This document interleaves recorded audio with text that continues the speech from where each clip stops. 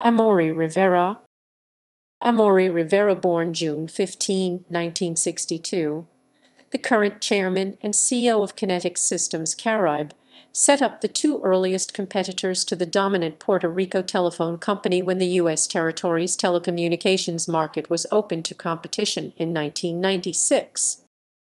Early life and education Rivera holds a Bachelor of Science in Business Administration from Boston University.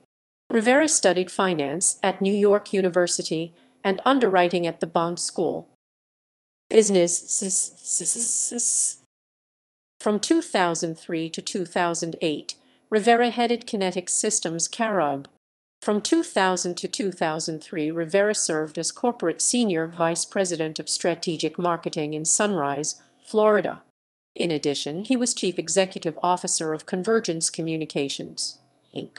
He was responsible for a landmark deal at the time in the industry, which was the largest publicly announced contract for Guardant for a $27 million channel agreement with Convergence Communications for 24.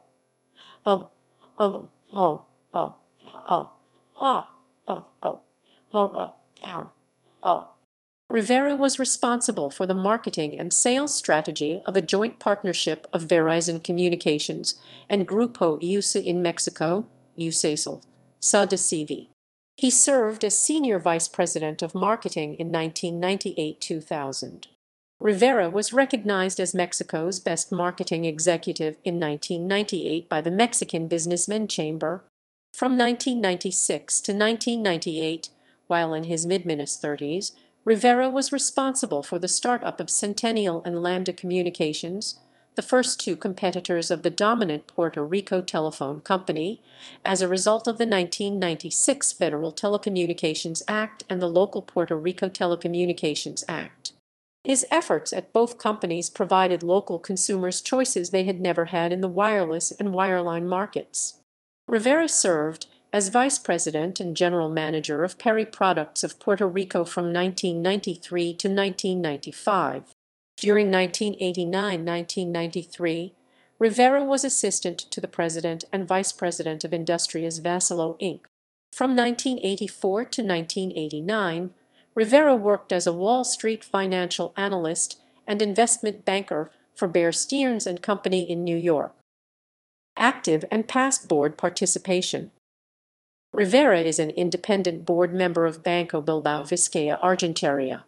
Rivera was secretary, vice president, and president of the board of the Puerto Rico Products Association. Rivera was chairman of the Universal Service Committee of the Puerto Rico Telecommunications Board 1997.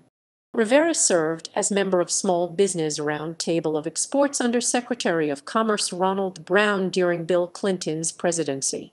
Rivera was a delegate and member of the Conference on Small Businesses of the White House.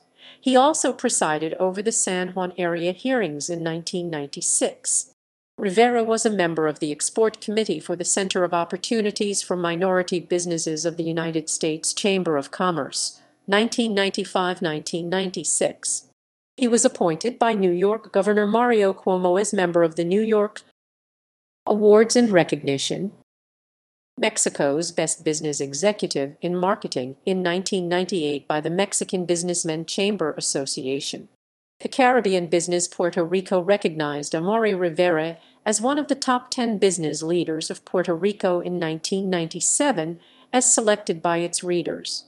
Revista Caras, Caras magazine selected Rivera as the most successful young executives under 40 in 1998. In 1995, the Young Businessman Committee of the Inter-American Business Association bestowed Rivera the Young Businessman of the Year award.